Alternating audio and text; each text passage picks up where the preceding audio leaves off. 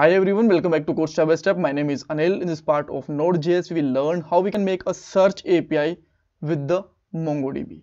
So we will learn search API in a two way. One, search with a single field and search with the multiple field. So what does that mean? So let's understand that first. So let's say you want to apply a search only on one field, like you want to apply search on the, only on name or only on brand or only on category. So that will be a single field search. So whenever you want to apply the search on multiple fields, so at the same time you want to search in uh, name, brand, category and price, that time we can say that this is a multi-field search.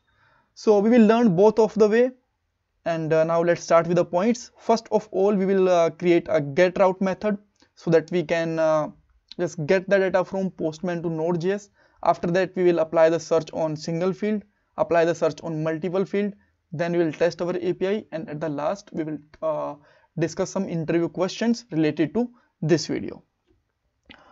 So now let's jump on the code.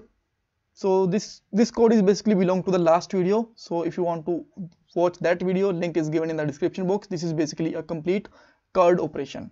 So I am just going to delete uh, all these methods because we don't need them uh, in this video otherwise uh, we can just keep them also but uh, if we will just keep that code uh, we have uh, more code and it's really hard to understand when we have the lots of code.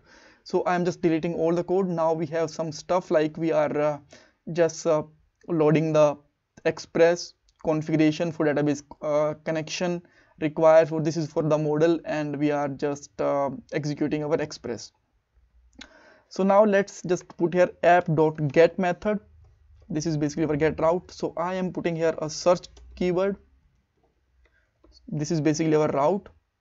Uh, we can just put it like this. And uh, we will get some data from uh, param. So what i'm just going to put here colon key right? After that you know that uh, second parameter will be a function. So we are just putting here request and response and for a moment I am just putting here response dot send and we can just say that search done for a dummy purpose so that we can check that everything is working fine or not. Now let's go to the postman. Select here get method. Put the path of our API which will be localhost 5000 then search. And any name of the key. Let's say I want to search the Samsung uh, it will not give any giving any result because we have to start the server for node.js so let me start with the nodemon.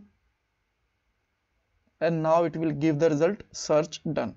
So with that way we can just find that our search API is working fine. So now let's see how we can get this Samsung uh, params inside our uh, you can see that uh, get method so let's just simply put here console dot log request dot params dot key. And now you will find that on a console we will just get the name whatever we are passing on the param uh, you know url samsung way here you can see that if i'm just putting here max then you can see that this is also working fine. So now what we need here we need this product model so that we can just connect with the database. So let's simply put here let data equal to find uh, product dot find. And we have to just put here await because it will return a promise and where we can use the await keyword inside a async function alright so now you can just uh, send this data as a response to API and you will find that everything is working fine. We will just get the complete data. So now how we can filter this data behalf of this uh, URL keyword? So for that what we can do here we can simply use a regex. And for that we need a basically object. And let's simply put here dollar or. That means we will we can use it as a multiple fields also. And uh, then let's take a array. And here uh, let's give your field name. So let's say my field name is name. Then uh, it will be basically a regex. So we can just simply put here dollar regex. And our data that okay i just have to use here dollar not ampersand regex and uh, the data. So we are getting data inside request dot params dot key. And now let's try to run it. Is it working or not? Whenever i'm hitting it it will give only one result because max we have only one. So if i'm just searching here with the m you will find that we got the two result one for the max because inside max we have a m keyword. And the second one is the m pro right and let's say i am searching something else. So let's say i'm searching here u10 so that time we will get only u10 only one uh, result. So if i'm just simply putting here u still it will give only one result because we have the u only inside a one field. You can see check check here.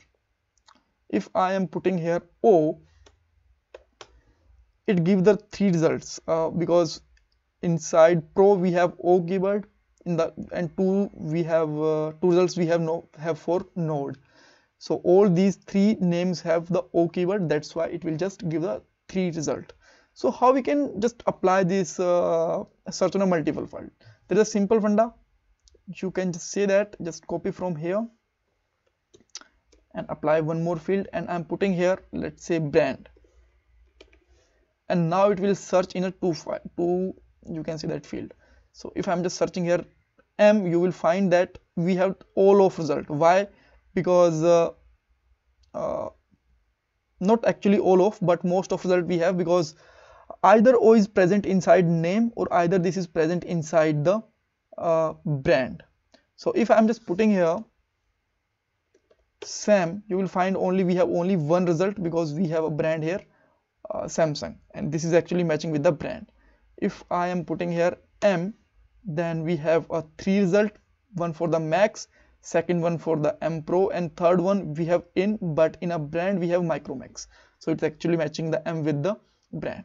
So with that way we can apply the search with the multiple fields. So thank you so much for watching this video and please don't forget to subscribe my channel